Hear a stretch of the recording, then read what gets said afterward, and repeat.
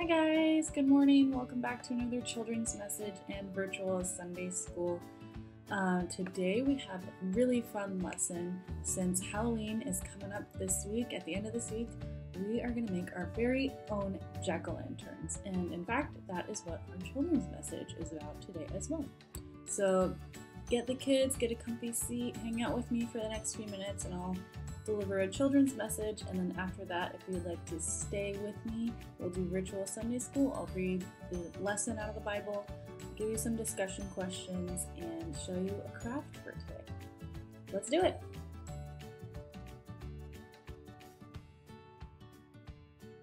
Alright, guys, so just like I said, and I'm sure you all know because you're probably excited, but Halloween is coming soon. It's this next week. Hopefully, you guys get to dress up in your costumes. I know Halloween is a little different this year. You might not be going trick or treating, but if your parents decide to let you go trick or treating, make sure you're very safe, stay socially distanced, and only go to places that you know the people at the houses, right? It's important always to stay safe when you're trick or treating. So, today I brought a very special jack o' lantern with me. We'll get to this in a minute. But Jack-o'-lanterns, carving pumpkins, is one of my favorite traditions at Halloween. It's really fun to go to the pumpkin patch with my family, grab up the perfect pumpkin, and then carve out a silly face on it as we all hang out together and play fun music and, and scoop pumpkin guts and stuff. That's one of my favorite things to do. It's so fun, right? Have you ever made a jack-o'-lantern? If not, I hope you get to do one this next week so it's ready for Halloween. But if you have, you know that the first thing that you do when making a jack-o'-lantern is first, you have to go to the pumpkin patch, right? Go to the pumpkin patch, pick out the perfect pumpkin, right? And then you take it home and you gotta wash off all of the dirt and mud because pumpkin patches are dirty and muddy usually, especially here. So once it's all clean, you cut a hole in the top around the stem so it has a lid, right? And then what do you do? You clean out the inside, right? You scoop out all of those pumpkin guts and the seeds and all of the yucky, goopy, slimy stuff, right? One of the most fun parts.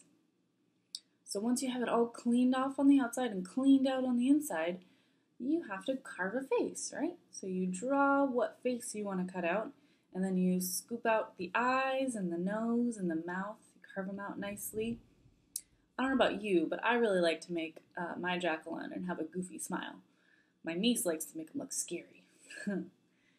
so the next step after you have it scooped out on the inside, the face carved out, is you put what on the inside? A candle, right? Then you light the candle so that the light will shine through the eyes and the nose and the mouth so you can see the whole face in the dark. It looks really cool. So finally, when it's all finished, you put your finished jack-o'-lantern out on the front step or maybe in a window so that everyone who walks by your house at night can see its light. It's pretty cool. And you know, when I was thinking about carving my jack-o'-lantern and today's lesson, I thought, you know, this is a pretty good picture of what happens when we invite Jesus into our hearts. When we become Christians, when we decide to let Jesus into our hearts and to follow him, Jesus picks us up. He picks us up from the pumpkin patch and he cleans our life from sin. He, he, he washes all the dirt off of us, right? Just like the pumpkin. Then he removes all of the yucky thoughts and the seeds of doubt, hate, and selfishness that we have inside. He scoops those things out just like the pumpkin guts. He gets rid of them.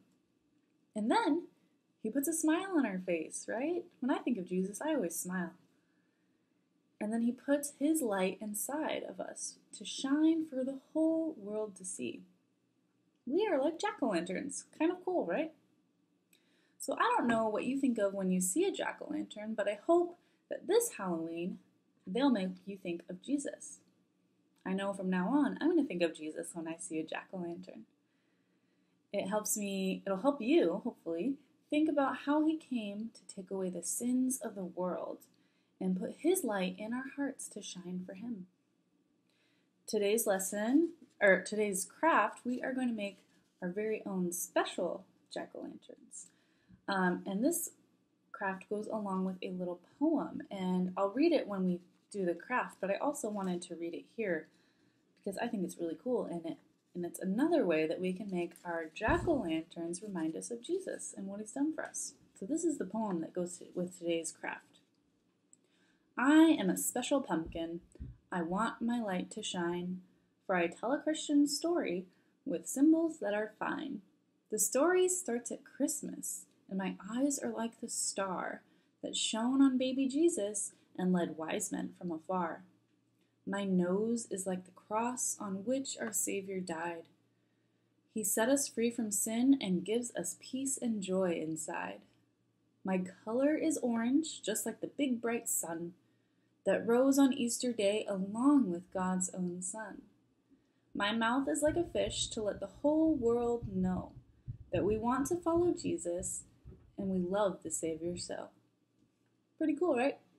So I'll show you guys how to make this craft in just a minute. But first, we're going to read the scripture lessons and then I'll give you some discussion questions as well. Before we get there, let's pray together. So fold your hands, close your eyes, and bow your heads with me, and let's pray.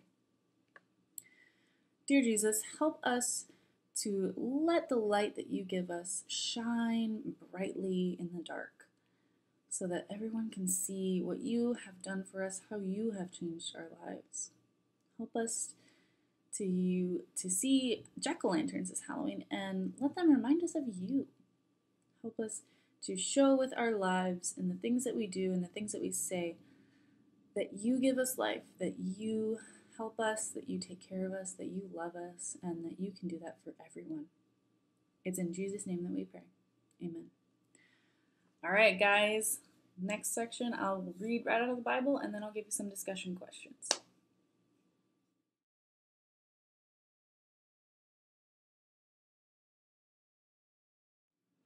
Okay, so today our scripture readings aren't really a story that go together.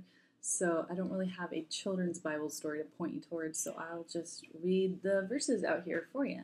So our first verse is from 1 Corinthians chapter 6 verse 11 and that says, "But you were cleansed, you were made holy, you were made right with God by calling on the name of the Lord Jesus Christ and by the Spirit of our God."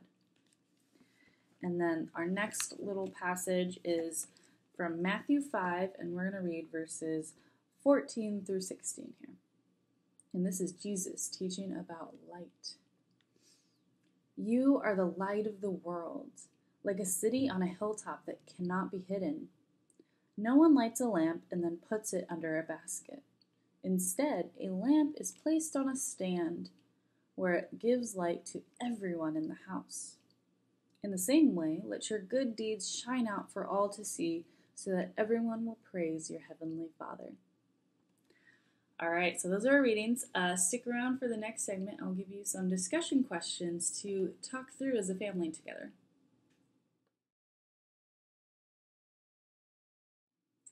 Okay, everyone, I have some discussion questions for you guys. I've got a short set for some younger kids and then another set for older kids. So for the younger kids, first question isn't really a question, it's more of an activity. Do you know the song This Little Light of Mine? Sing it together. Number two, why shouldn't you hide a light or a lamp or a candle? Number three, what are some ways to let your light shine? Okay, some discussion questions for the older kids now. Number one, is it possible to, and should you, keep a light to yourself? Number two, why is, in, is it important for the whole world to see your good deeds? Number three, what happens to a light or a candle that you cover up? And number four, how can you let your light shine to show the whole world who Jesus is and what he has done?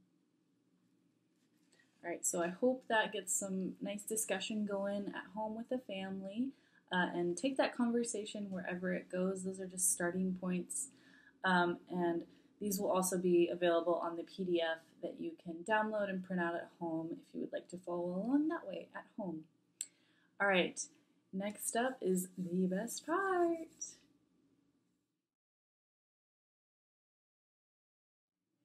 Craft time! Yay!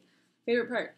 Okay, so there is a printable coloring page. I just forgot to print it out to show you, but that will there's a link to that in the PDF that you can download and follow that link and you can print that coloring page out at home and color if you would like to do that. Uh, but today's main event, the craft, is our special pumpkin jack-o'-lantern that I showed you earlier um, with all its special symbols and we'll go over the poem again so everyone knows, but I'll show you how to make this. So there are a bunch of different supplies that you'll need. Um, so you're going to need paper plate. I used a white one, but if you are going to the party store or anything this week, I'm sure they have orange plates that you can use if you don't want to bother with painting it. Uh, but if you have white paper plates, you're going to need orange paint and something to paint with, obviously, which is what I did. Uh, and then for the symbols, you're going to need some yellow paper. Uh, and then I used uh, kind of, I cut out the shapes and then traced them on my yellow paper to cut them out just so they would look nicer because I'm not good at symmetry. so you can definitely freehand those if you want, but um, in today's PDF, you're going to have a copy of the poem and then there's some outlines of all the different shapes that you can cut out or print out and then cut out and use to trace your shapes if you would like to do that. So we've got paper plate, paint, uh, our yellow paper for our shapes, uh, and then you're going to need the printout for the poem, and then you're also going to need a green or really any color type of um, uh, pipe cleaner and some green paper. I have some green tissue paper that I used. Uh, you're going to need a glue stick, uh, a hole punch, ooh, and some scissors too. So let me show you how I made this. So first, I uh, took a paper plate and I used a hole punch and I cut or I punched two holes in the top and I can show you on the back of this one. I punched two holes so I could put my pipe cleaner in, but I did that before I painted it just to make it easier. Paint it all orange, or if you already have an orange one, then you're good to go. Make sure you let it dry before you do anything else, but if you're using uh, washable paint, it should dry pretty quickly. Uh, and then I used my little stencil shapes to trace on my yellow paper and then I cut out my shapes and then I just used my glue stick and I glued them on in the shape of a face there. And then I took my pipe cleaner and I kind of made like this little hook so that, and it kind of looks like a stem too, right? I used uh, the two holes and I kind of wove it through and I made some curly cues with the extra. So if you wanted longer curly cues, you could use more pipe cleaners. But I made a hook so you can hang it on a doorknob or on a hook on the wall to, to show people uh, and then I just used some tissue paper and created more of a solid stem there. So that is that. And then what you're going to do, and I saved this part for the video, uh, you're going to cut out your poem and you're going to use your glue stick and make sure it gets real sticky. And your poem is going to go right on the back side of your um, pumpkin here.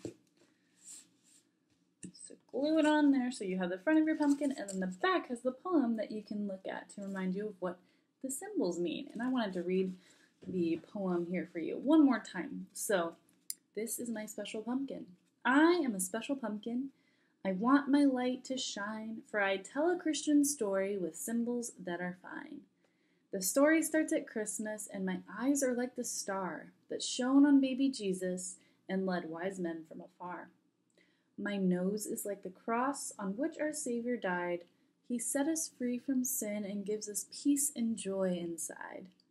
My color is orange, just like the big bright sun that rose on Easter Day along with God's own Son. My mouth is like a fish to let the whole world know that we want to follow Jesus and we love the Savior so. Pretty cool, right? So that's our jack o' lantern craft for today. Uh, and then the, the poem on the back. I think that's one of my favorite crafts so far. It's really fun. Okay, so that's it. Um, next section, we will close in prayer together. Alrighty, guys, that's all I have for you this morning. Thank you so much for joining me. Let's close in prayer together. Fold your hands, close your eyes, and bow your heads with me, and let's pray. Dear God, thank you for this beautiful autumn season that we're having. Let us look at all of these fun things that we get to do and let them remind us of you. Let us see these jack o' lanterns and see your light shining through us. See that you scooped out all of our yucky hate and sin and greed and and all of that. You scooped all of that out of us, um, and you replaced it with your light that we hope shines for the whole world to see. Um, we pray that you keep everyone safe this Halloween, safe and healthy, and it's in your name that we pray. Amen. All right, guys, that's it. Thank you for joining me. Um, I hope you guys have a happy Halloween and a safe Halloween. Stay, stay safe and healthy. Um, don't forget to check out our online virtual worship. You can find that on our website, pplc.org, or on our Facebook page. Uh, and don't forget there's that downloadable PDF that you can download, or you'll find the link to download in this video's description box uh, and anywhere we post this video. Uh, so to find all of those uh, resources for today's craft, the coloring page, and discussion questions, and all of that. Um, I hope you guys have a great week, a happy Halloween. I'll see you next time. Bye!